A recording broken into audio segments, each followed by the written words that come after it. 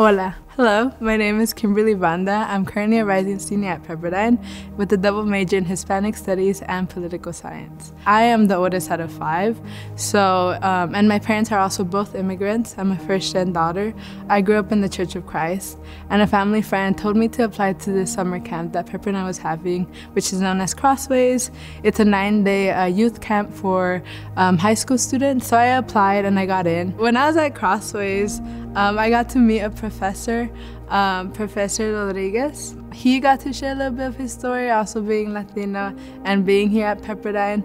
And through his experiences, I felt connected in a way. And I'm really glad I made that decision because if I wouldn't, I wouldn't have lived the life that I live now. I have a fellowship coming up with Pepperdine, um, the Social Just Justice Fellowship, where I proposed a project called La Comunidad, the community. We will be looking at how we could better support first generation students because it's really hard to navigate it at times. Sometimes you could feel alone. Something that I always tell myself, and everyone always hears me um, say, is si se puede. Um, you could do it. Um, and something that I always tell myself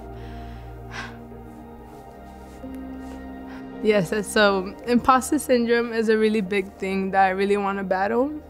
I think that because I did not grow in this environment, I'm not worth it sometimes, or it's not, I'm not good enough. But I do tell myself, I remind myself that I am, or other people like me are also capable. I'm also very grateful, and I thank God every day for giving me the life that I've lived so far and help me um, really value the things, the opportunities that have been presented to me. Um, and know that there's people out there that support us, um, that give to us because they believe in us. And throughout my journey, I've always been blessed to have someone um, that really instills in that, instills that in me. And um, if I wouldn't have came to Pepperdine, I don't know if I would have been through all that. So I thank Pepperdine for giving me all these experiences, all these people in my life that really have given me um, a sense of direction of where I want to go in life.